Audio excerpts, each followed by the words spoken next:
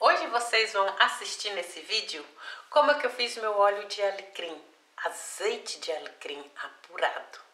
Vamos deixar, vamos assistir azeite de alecrim apurado.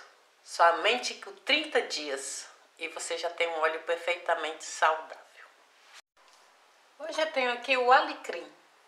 Eu tenho algumas bladas de alecrim Vou fazer um azeite com alecrim para mim colocar numa salada. Para você precisar, precisa de, para você fazer, só só precisa de um bom azeite de oliva, extra virgem e de preferência biológico. Mas se você não tiver biológico, pode ser da sua preferência.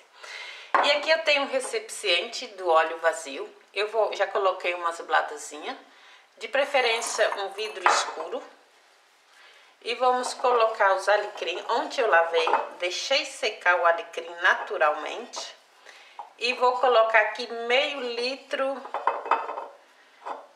meio litro de azeite. Meio litro, é, vou colocar menos, né? Porque as bladas vai ficar para cima. Deixa eu ver se eu posso tirar.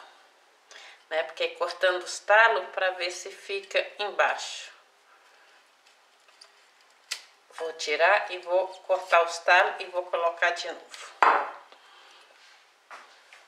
Colocando os talos, cortando pela metade, para que o óleo fique por baixo, né?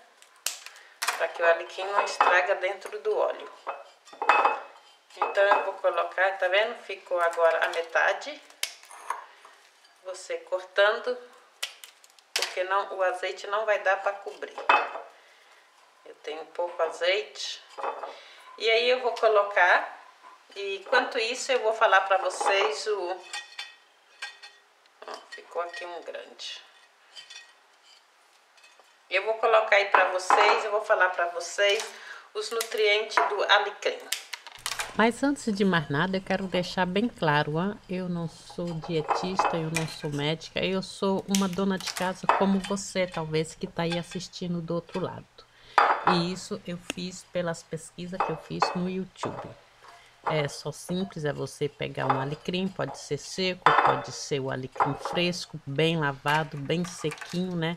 Você deixa ele secar naturalmente e coloca aí dentro da garrafa como eu tô fazendo. As propriedades dele, é, vou falar só algumas. Diurético, anti-inflamatório e desestivo. Desistivo. Ok. Gente, se eu estiver falando errado aí, vocês entendem. E vou falar também, pra, também que ele é muito bom para os cabelos, né? Para tirar, a, a, né? evitar casca no cabelo. Ele também é muito bom para mau hálito, né? É, você pode colocar um pouquinho com água e um pouquinho de óleo e fazer desfecho. Para as cólicas menstruais também ele é bom. Você pode colocar um pouquinho na barriga, fazer uma massagem. Para a pele, né? Se a pele estiver ressecada, rosto, para o corpo, pode ser misturado com água ou o óleo pode ser passado sozinho. Ele é anti-inflamatório, né? Se você tiver alguma inflamação, você passa. O meu intuito desse óleo, o meu para mim, é que eu estou comendo muito microverdes então eu uso muito azeites, né? Azeite de linhaça, é, vários tipos de azeite. Cada dia eu uso um. Então eu resolvi fazer esse óleo de azeite, né? De alecrim, para mim colocar Aí na dentro. minha salada. Eu vou colocar no lugar escuro, né? E vou, cada, cada, cada dois dias, dar uma sacudida nele, né? Dar uma sacudida assim, cada dois dias, e vai ficar por um mês. Eu vou colocar aqui a data para saber quando é que foi feito. Voltando, depois que o vidro tá cheio, né? Já tá cheio de óleo. Vou cada dois dias, cada cinco dias, cada três dias, quando você lembrar, vai lá dar uma sacudida no azeite. Fica no lugar escuro. Aqui está a data, dia 18 de dezembro. Então, daqui um mês ele está apurado. E daqui um mês eu volto de novo. Vou colocar aqui assim. Tá vendo? Ok. Esse, Esse azeite, normalmente, ele ficou mais de um mês. Ficou quase dois meses, né? Porque foi dezembro, aí vem ano novo, vem isso, vem aquilo. Mas aí depois de passado um bom tempo, né? Que aí já tá é, quase um mês e meio, quase dois meses.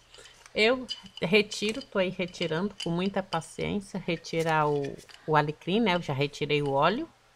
Agora falta tirar só as as folhas do alecrim, porque... E com a tesoura eu penso que é mais fácil. Aí depois que eu uso esse... Depois que eu tiro esse...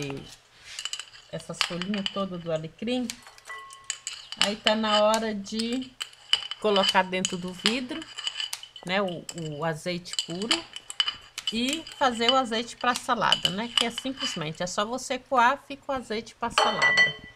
Eu não oriento a ninguém, né, eu não oriento a ninguém fazer antes de consultar o seu médico, hein? É melhor você consultar o seu médico. Aqui eu vou guardar para quando eu cozinhar a comida, eu posso colocar na comida. Porque tá, tá bom ainda para colocar na comida, mas não guardo por muito tempo, por um pouco tempo. Cozinhar carne, cozinhar alguma coisa, aí eu coloco na geladeira.